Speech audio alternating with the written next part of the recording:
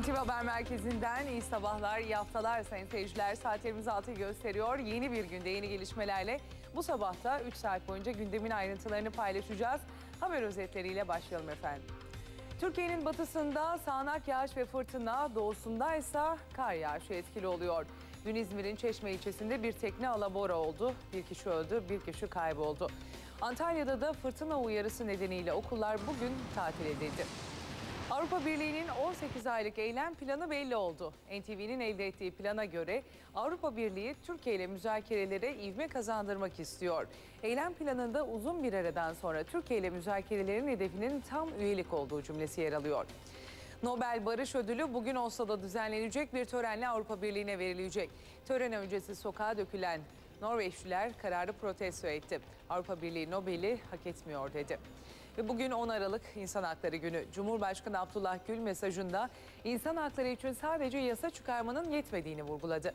Başbakan Erdoğan ise Türkiye'nin insan hakları alanında dünyada örnek gösterilmeye devam edileceğini söyledi. Filistin lideri Mahmut Abbas bugün Türkiye'ye geliyor. Üç gün sürecek olan ziyaret Abbas'ın Filistin'in Birleşmiş Milletler'de gözlemci devlet statüsü kazanmasının ardından yapacağı ilk yurt dışı ziyaret olması bakımından önem taşıyor. Ve Libya'daki iç karışıklık nedeniyle zarar eden Türk iş adamlarına müjde.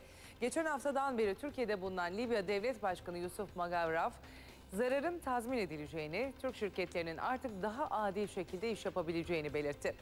Ve tribünlerdeki şiddet engeli basketbolunda yansıdı. Galatasaray ile Beşiktaş maçında taraftarı kavga etti. Taraftar kavga etti ve polis biber gazı sıktı. Oyuncuların tekerlekli sandalyeleri kırıldı. Olaylar nedeniyle maç tatil edildi. Barcelona'nın yıldız oyuncusu Messi bu yıl 86. golünü atarak tarihe geçti. Yıl içinde en çok gol atma rekoru 85 golle 1972 yılından beri Alman efsanesi Müller'in elindeydi. Ve haber özetlerini aktardık. Şimdi ise ayrıntılarına bakalım. Türkiye genelinde kış kendini hissettiriyor. Batı bölgelerde sağanak yağış ve fırtına, doğudaysa kar etkili oluyor. Çeşme'de bir tekne alabora oldu. Bir kişi öldü, bir kişi kayboldu. Antalya'da da fırtına beklentisi nedeniyle okullar bugün tatil edildi. Kars'ta sıcaklık eksi 18'e kadar düştü. Şile açıklarında batan gemi ve yardıma giden botun kayalıklara çarpmasının ardından kaybolan 9 denizciden hala haber yok. Arama çalışmaları sürüyor. CHP Genel Başkan Yardımcısı Gürsel Tekin, kazada ölen kaptan Cemil Özben'in ailesini ziyaret etti. Olayı meclise taşıyacaklarını söyledi. Muğla'nın Köyceğiz ilçesinde Sandıras Dağı'na çıkan 14 kişilik öğrenci grubu akşam saatlerinde kar ve tipi nedeniyle mahsur kaldı. Öğrencilere 6 saatlik çalışmanın ardından ulaşılabildi. Sultan Gazi'de bir kumaş boyama fabrikasının deposunda akşam saatlerinde yangın çıktı. Alevleri kontrol altına alabilmek için İstanbul'un çeşitli ilçelerinden çok sayıda itfaiye ekibi seferber oldu.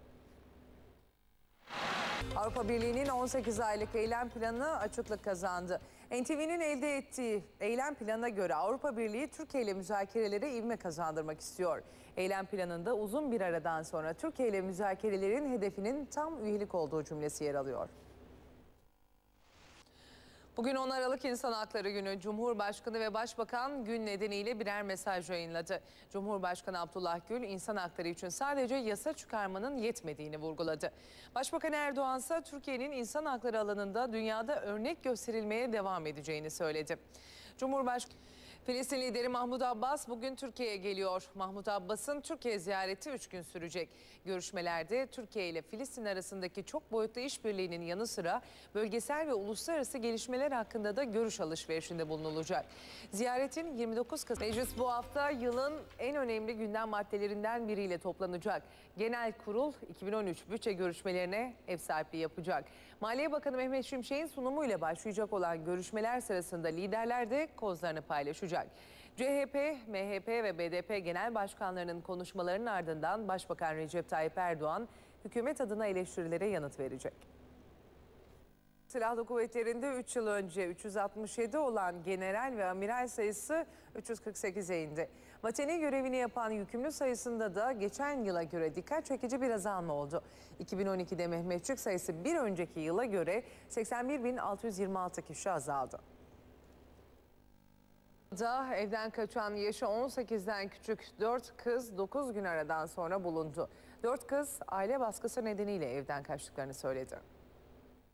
Sosyal medyayı en iyi kullananlar üniversite öğrencileri tarafından ödüllendirildi. İstanbul Teknik Üniversitesi'nde düzenlenen törende NTV MSNBC, NTV Spor ve Star TV'de ödüle layık görüldü.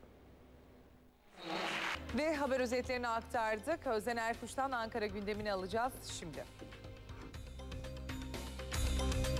Kentsel dönüşüm kapsamında 2 ayda 25 ilde 124 kamu binası yıkıldı. 48 binayla ilk sırayı İstanbul aldı. Dönüşüm kapsamında yeni alanlar oluşturulmaya da devam ediliyor. TOKİ 19 ilde 167 arsayı açık artırmayla satışa sunmaya hazırlanıyor.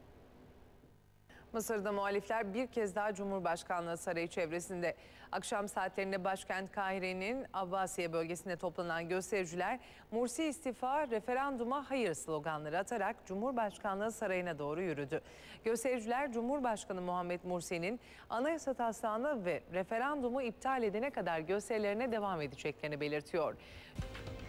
Türk sinemasının sultanı Türkan Şoray NTV yayınlarından çıkan kitabın tanıtımı için başkentteydi. Ancak yüzlerce Ankaralı'nın Şoray sevgisi organizasyondaki aksaklıkla birleşince imza gününde izdiham çıktı. İzdiham nedeniyle hem Şoray hem de hayranları zor anlar yaşadı.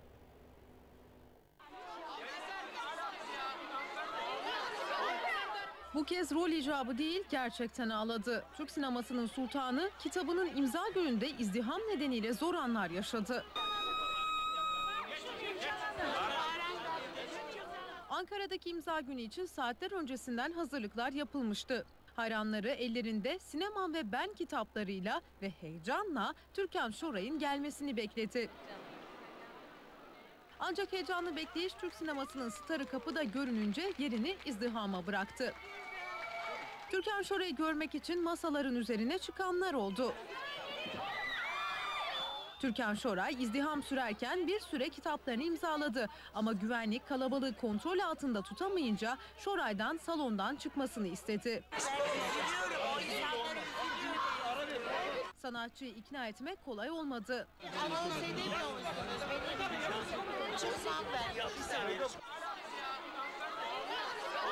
Ben sinirlenmek istemiyorum. Bu gelen insanlara ayıp değil mi?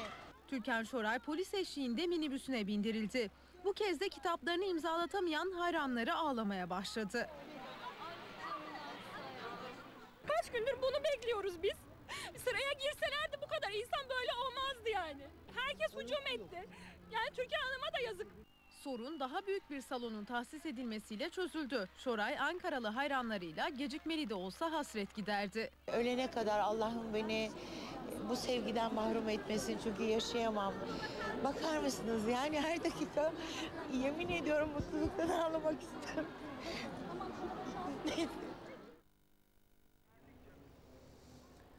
Muğla'da evden kaçan yaşı 18'den küçük 4 kız 9 gün aradan sonra bulundu. Kısa bir ara vereceğiz ama öncesinde hava durumunun ayrıntıları. İstanbul'da hava sert esen karayelle soğudu sıcaklık 9 derece ama hissedilen değer 6 dereceye geçmiyor. Sağanak yağışın şiddeti akşama doğru hafifleyecek. Ankara'da ise lodos kuvvetli sıcaklık 10 dereceye çıkıyor. Akşama doğruysa kuvvetli yağmur geliyor. İzmir'de yağış sürüyor ama fırtına dindi. Bugün Sıcak Ankara gündeminin başlıklarını Özen Erkuş'tan aldık ve devam ediyoruz. Sayın seyirciler Türkiye genelinde kış kendini hissettiriyor. Batı bölgelerde sağanak yağış ve fırtına, doğudaysa kar etkili oluyor. Çeşme'de bir tekne alabora oldu, bir kişi öldü. Tekneden düşerek kaybolan bir kişiye henüz ulaşılamadı. Antalya'da da fırtına uyarısı nedeniyle okullar bugün tatil edildi. Ediyoruz Antalya'daki son durumu. Yine bölgeden aktarmaya devam edeceğiz. Sayın seyirciler geçen hafta Şile açıklarında batan gemi ve yardıma giden botun kayalıklara çarpmasının ardından kaybolan 9 denizciden hala haber yok. Arama çalışmaları sürüyor. CHP Genel Başkan Yardımcısı Gürsel Tekin kazada ölen kaptan Cemil Özben'in ailesini ziyaret etti. Olayı meclise taşıyacaklarını söyledi. Kısa bir ara veriyoruz. Az sonra birlikteyiz. NTV MSNBC internet sitesinde öne çıkan haber başlıkları dedik. İşte Türkiye'nin beyin göçü haritası diyor ilk haberinde. TÜBİTAK yurt dışında görev yapan Türk bilim insanları için bir veri tabanı oluşturdu. Az önce haberlerimizde de aktardık. 1335 bilim insanının dünyanın 47 ülkesinde görev yaptığı tespit edildi. Türk bilim insanları Harvard ve Oxford gibi saygılı üniversitelerin yanı sıra NASA, Google ve General Electric gibi birçok önemli kurumlarda da görev alıyor. İşte Türkiye'nin beyin göçü haritası diyor haberin başlığında da. Ve Esad'ın yeni taktiği başlığıyla bir başka haberle devam edelim. Suriye Devlet Başkanı Beşar Esad'ın askerlerinin zayıf CHP Grup Başkan Vekili Muharrem İnce, partisinin Afyonkarahisar'da Ticaret Borsası Meclis Salonu'nda düzenlenen İl Danışma Meclisi toplantısına katıldı. İnce burada partisinin içinde e, bir mesaj verdi. CHP'de politikamızla, ideolojimizle uyuşmayan altı okla uyuşmayan söylemler söyleniyor mu? Söyleniyor. Niye korkuyorsunuz dedi ve konuşmasının e, devamının ayrıntıları da yine NTV MSNBC'nin internet sitesinin ilk sayfasında yer alıyor. Ve bir kaza haberi gelecek şimdi ekranlarınıza fotoğrafıyla da hız tutkusu genç sonunda ölüme uçtu diyor haberin başlığında da. Ve Spor Toto Süper Lig'de Akhisar Belediyespor Medikal Park Antalya Spor maçı olumsuz hava koşulları nedeniyle 16. dakikadan sonra tatil edildi. Yağmur Süper bir yıldır aranan zanlıyı çöpçü polis yakaladı. Şanlıurfa'da meydana geldi. Bu olay Şanlıurfa'da cinayet zanlısı olarak bir yıldır aranan kişi temizlik işçisi gibi davranan polis tarafından yakalandı. Yakalarımıza de verdik. Tekerlekli sandalye basketbol maçında olay çıktı. Galatasaray ile Beşiktaş Marin arasında oynanan tekerlekli sandalye basketbol maçı çıkan olaylar nedeniyle yarıda kaldı. Le turumuzu noktalayacağız. Milyonluk gösteriler salı günü. Bu gösteriler Mısır'da Cumhurbaşkanı Muhammed Mursi'nin son anayasal düzenlemelerin yol açtığı tartışmalar devam ederken olacak. Mursi yine internet sitesinin ilk sayfasına yer alıyor. Haberleri aktardık. NTV MSNBC'nin öne çıkardığı haber başlıklarını aktardık ve yayınımız BBC Türkçe servisinin hazırladığı İngiltere basını ile devam ediyor. Yayınımızın sonunda bir kez daha Gökhan Abur bizlerle birlikte. Tekrar hoş geldiniz diyelim Merhaba, Sayın. Abur.